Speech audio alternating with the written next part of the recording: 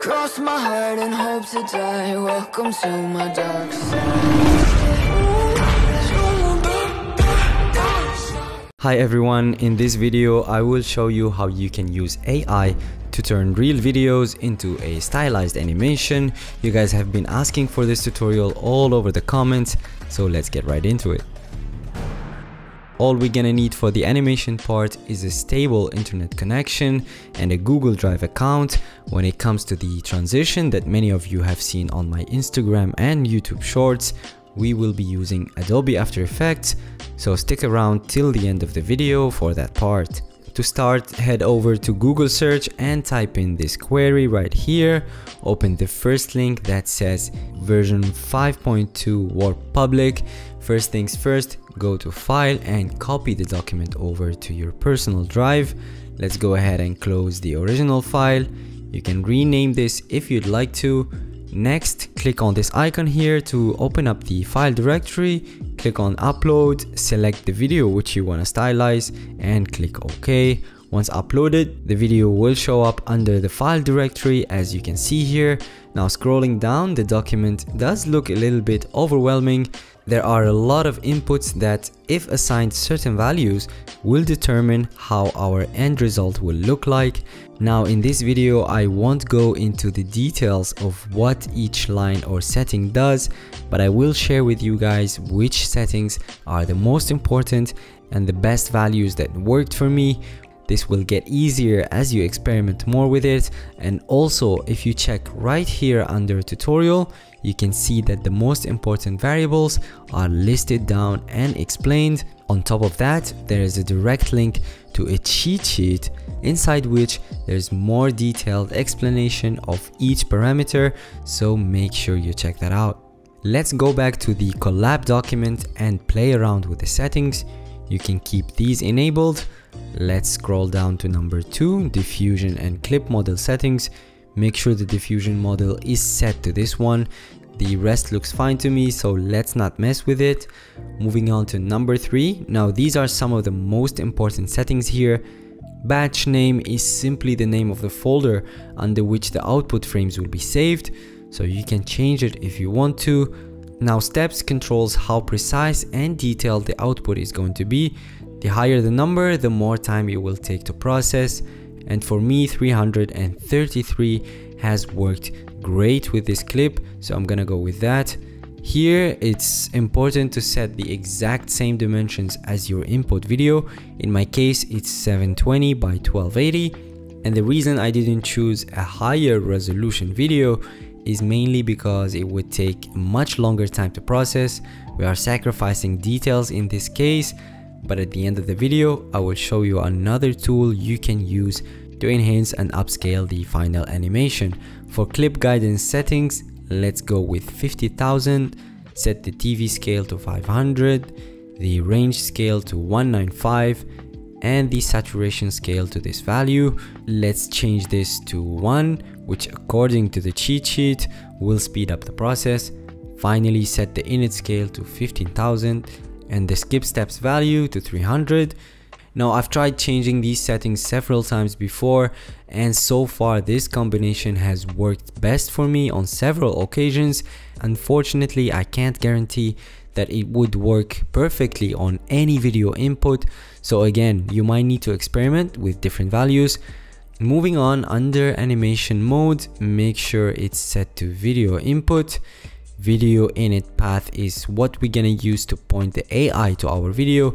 And to do that right click on your original video file right here copy path and paste it inside this field Alright, now extract nth frames is set to 2 which means the AI will only process every second frame. So for example, if your video has 30 frames in total, you will be processing 15 of those frames a bit of a sacrifice of smoothness, yes, but at the same time, we're cutting the processing time down to half.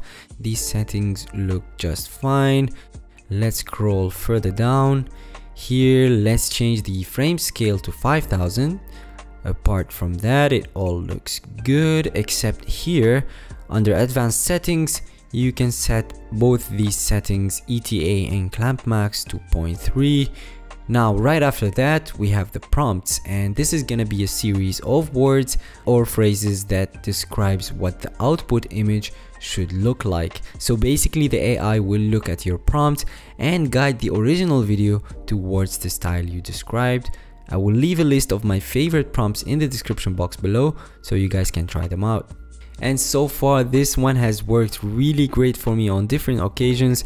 And for this particular one I have to give credit to another YouTuber. His channel is called Enigmatic E. I saw him using this prompt in one of his videos and I really loved the outcome. He also has a bunch of videos where he dives deeper into Disco Diffusion and other AI tools. So if you want to learn more make sure you check him out Okay, so far it all looks good. We're ready to run the AI and to do that you can either run each and every one of these steps individually or if you're lazy like me, simply go over to runtime and choose run all and it will automatically run through the steps one by one. You will also get this window asking you to connect your Google Drive so make sure you have a few gigs of space there and click on connect, choose your Google account and allow the processing time will vary from one step to the other. It might take a few minutes before it starts stylizing your video, so sit back and relax while it runs. Once it gets to number 4, diffuse, that's when you'll be able to have a preview of the frames being processed. The progress bar under the image refers to the single frame progress and the one above indicates the progress of the entire animation now every time a frame is processed, it will be saved directly in your Google Drive. You'll find a new folder inside your drive called AI, inside which there's a subfolder called Disco Diffusion. Open that, open images out, open the batch folder, and here you'll find all the stylized frames along with the text file that contains all the settings you've used. Once the process is complete, select all the stylized frames inside this folder and download them to your computer. Google Drive will archive the files. I've already extracted mine inside this folder right here. And to stitch them back together into an animation we will be using Adobe After Effects. So let's open that. Right click here and choose import file. First let's bring in the original video and drag it over this icon here to create a new composition. Next to import the stylized frames, select the very first one, make sure PNG sequence is enabled and import. Let's drag the animation sequence down to our composition. I noticed that Disco Diffusion often messes up the width of the frames, so make sure you match it back to the original dimensions Another thing we need to adjust here is the length of the animation. Simply hold down Alt and drag the animation layer towards the end to stretch it out. Great. And this is how it looks like so far compared to the original clip. Not bad at all. And to make it a bit more interesting, let's create a cool transition effect. Go to Layer, Solid. Let's call this one Mask and click OK. First of all, hide the newly created solid and on the animation layer, switch the track matte to alpha. Let's hide the animation for now. Move over to where you want the transition to start. I'm going with the kick action as a reference here and now drag the solids in point to this timecode and using the ellipse tool let's draw a circle mask here Open the mask properties and toggle the stopwatch on the mask path to be able to add keyframes and animate it over time. Move a few frames forward and scale the mask all the way up beyond the video borders, just like that. And I think we can go back to the first keyframe and scale the mask all the way down. Perfect. Now let's toggle the animation back on and have a look. Alright, cool. The fundamental part of the transition is there, but let's stylize it a bit further. Select the mask layer, press Ctrl and D on your keyboard to duplicate it. Let's name this one Saber, toggle its visibility, head over to the effects tab and look for Saber, double click to add it in. Under customize core, change the core type to layer masks. And under render settings, let's change the composite to transparent. all the way up let's change the preset to electric. Increase both glow bias and glow spread a bit. Same goes for the core size I think it looks cool like this except we have a small issue at the beginning here and I think it's because the layer mask is too small. If you run into the same problem just drag this in point to the next frame just like that. Now we also want the animation to appear at the same time as the transition effect so let's drag the in point all the way here to match the saber layer. Let's have a quick look there we go. It looks really good. Now all that's left to do is export the video but before that let's give the composition a proper name. Go to composition add to adobe media encoder choose an output folder and then start rendering.